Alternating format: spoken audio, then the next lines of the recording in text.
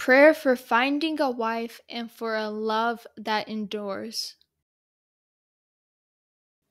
God of love, when I find my future wife, ignite within us a love that endures.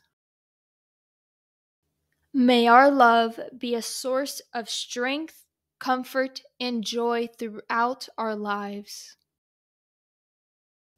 Help us navigate challenges with understanding and forgiveness.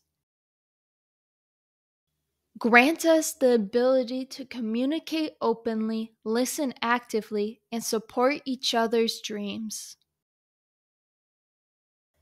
May our love be a reflection of your unwavering love for us. Amen.